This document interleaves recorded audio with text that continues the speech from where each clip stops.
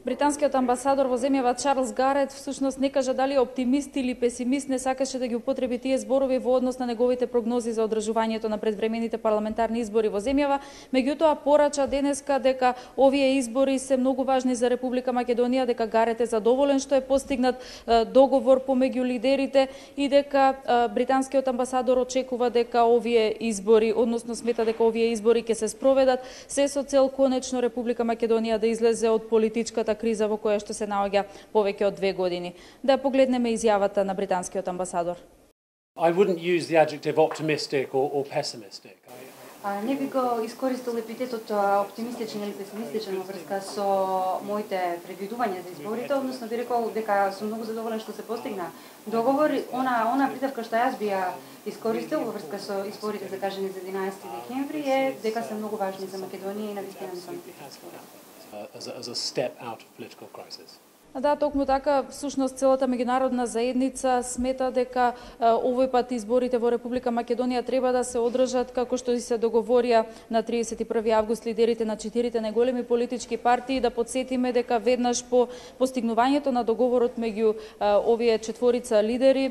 високата представничка на Европската унија за надворешна и безбедносна политика Федерика Могерини заедно со еврокомесарот за преговори за проширување и соседска политика Јоханес Хан заедно писмено реагираа и го поздрави најавија овој договор меѓу лидерите на четирите најголеми партии. Тие побараа од четворицата лидери од Никола Груевски, Зоран Заев, Али Ахмети и Мендух Тачи сите строго да ја почитуваат веродостојноста на овој изборен процес, се со цел граѓаните во Република Македонија да, да имаат да имаат можност за свој собствен избор и по изборите да се формира влада која што ќе работи за доброто за интересите на сите граѓани на Република Македонија, како и влада која што ќе се справи со сите предизвици и реформи реформи, вклучувајќи ги тука и итните реформски приоритети. Да подсетиме дека Могерини и Хан исто така порачаа дека Европската Унија останува да го поддржува овој процес. Тие побараа од сите политички чинители повторно да ги обноват своите напори за одржување, односно за спроведување на сето она што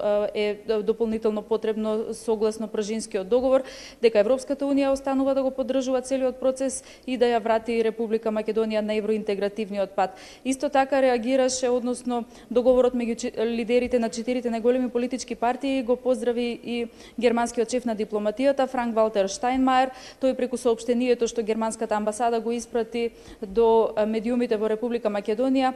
посочи дека овој консензус меѓу лидерите на четирите најголеми политички партии е во согласност со договорот од Пржино од јуни минатата година. Исто така и Штайнмајер побара понатаму целиот процес до изборите да се спроведе веродостојно и брзо и порача дека е време Република Македонија повторно да се врати на евроинтегративниот пат, да не заостанува. Штајнмајер и посочи дека мора да продолжи со работа непречено и специјалното јавно обвинителство се со цел да се врати до вербата на граѓаните во институциите во Република Македонија.